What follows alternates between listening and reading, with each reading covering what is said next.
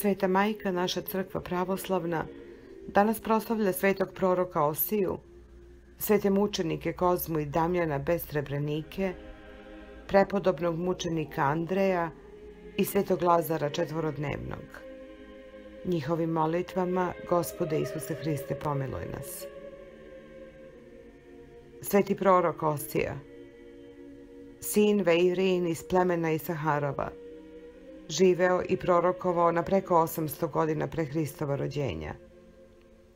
Reči njegove, pogoduhnovene, nalaze se u knjizi njegovoj koja sadrži 14 glava.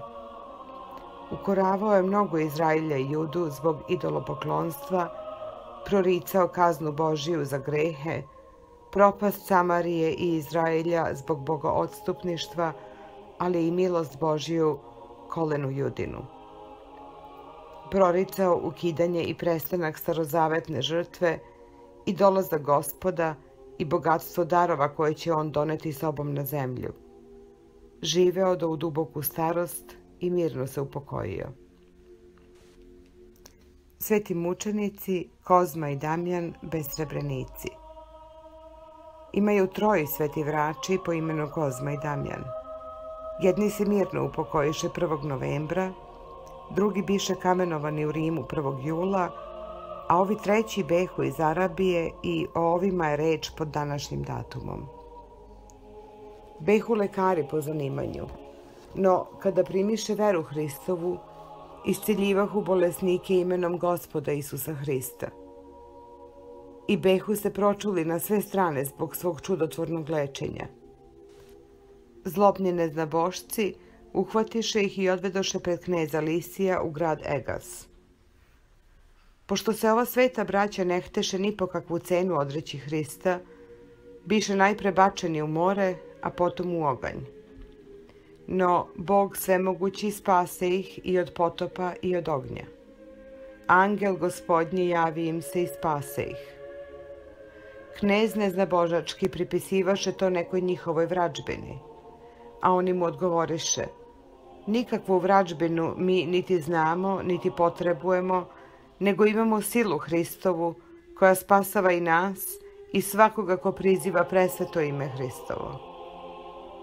Tada ih udarahu kamenjem, no kamenje se odbijaše od njih. Streljahu ih strelama, no i strele se odbijahu od njih.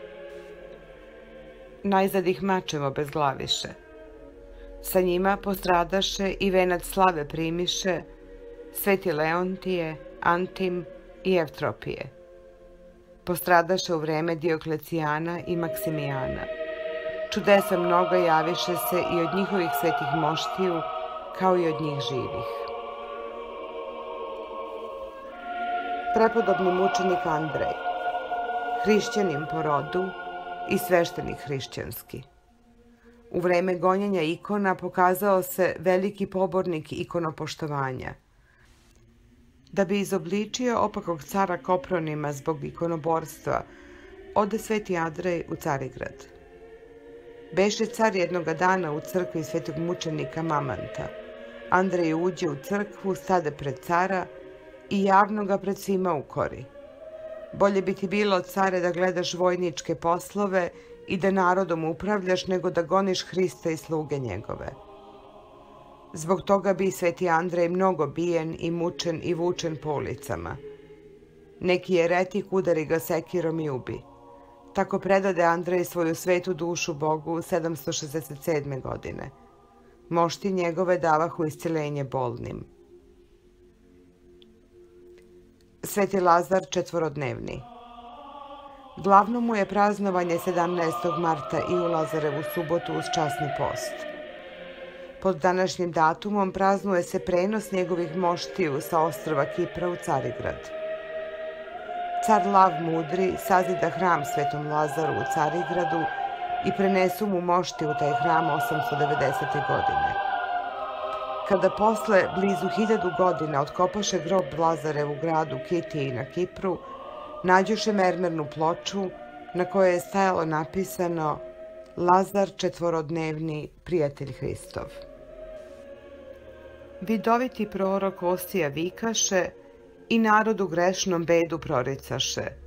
Gospod, gospod zbori, milost mi je mila, a nemila žrtva prljava i gnila. Prestupiste zakon koji Adam stari, laži se klanjate, laž vam gospodari. Prestaće vam žrtve, primati ih neću, ja sam sebi žrtvu gotovim najveću. Oraste bezbožnost, bezakonje žnjeste, i sijaste vetar, oluju požnjeste. A sad sejite pravdu, milost ćete žnjeti, i bit ćete meni narod opet sveti. Mene se stidite i dole volite, preljubu sa grehom vodite, vodite. Zato ćete biti po svetu skitači i svaki će narod biti od vas jači. A ja ću podići novog Izraelja, jedno novo carstvo, carstvo svetitelja. Biće kao rosa, ko ljiljan cvetaće, najlepšim mirisom svetu mirisaće. Ja sam gospod, gospod što hoću to mogu, blažen ko se klanja meni, živom Bogu. Rasuđivanje Drugo javljanje svetog mučenika Longina Kada se sveti Longin javi slepoj udovici kojoj beše umro Sinčić, obećao je i vidio i povrati i sina joj pokazati u slavi velikoj. Našavši mošti svetog mučenika i dodirnuvši ih rukama svojim, udovica odmah progleda. I tako jedno se obećanje ispuni. Iduće noći javi se sveti Longin udovici u velikoj svetlosti držeći za ruku sina njenog, koji beše odeven u sjajno odelo. Pa kao otac milujući dete reče udovici, pogledaj ženo sina tvoga, zbog koga toliko plačeš. Pogledaj ga u kakvoj je časti i slavi, pogledaj i uteši se. Bog ga uvrsti u nebesne činove koji žive u carstvu njegovom. Ja ga sad uzdeh od spasitelja i neće nikad biti udaljen od mene.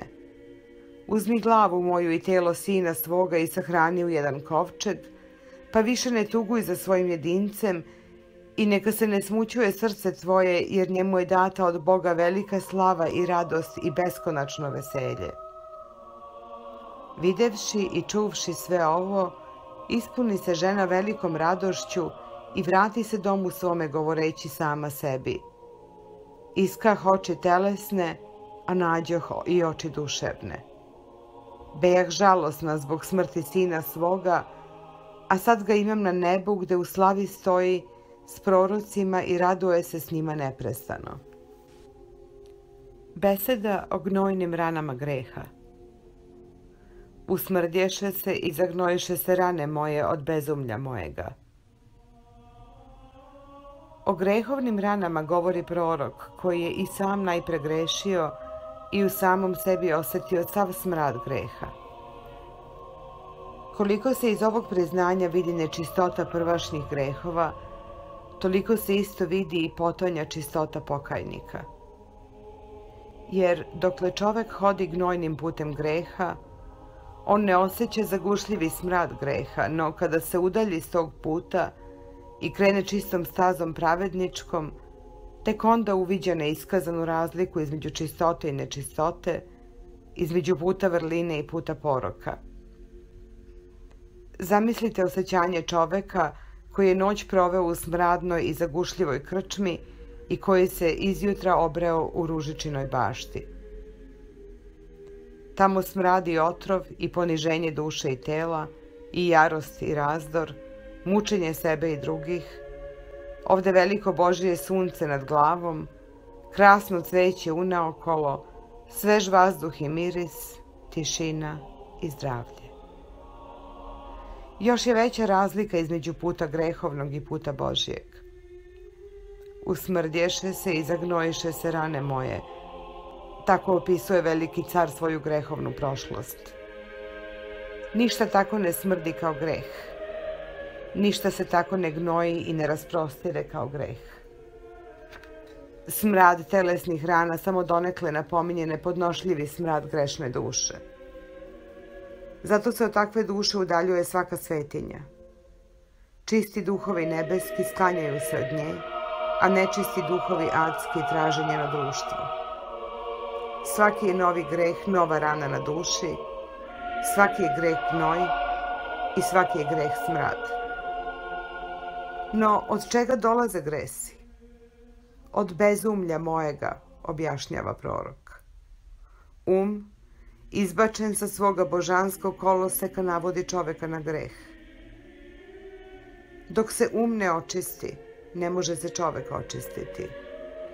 A mi um Hristov imamo, govori apostol, to jest imamo um povraćen ponovo u onaj kolosek u kome je bio um Adamov pre grehovnog smrada. Otuda, braćo, sva pravoslavna nauka o podvižništvu usredsređuje svoju pažnju na jednu glavnu tačku, na um čovekov, na očišćenje i ispravljenje uma. O gospode Isuse Hriste, čistoto i večni izvore čistote, pomozi nam odbaciti bezumlje naše, pomozi nam umovati prema umu Tvojemu. Tebi slava i hvala vavek. Amen.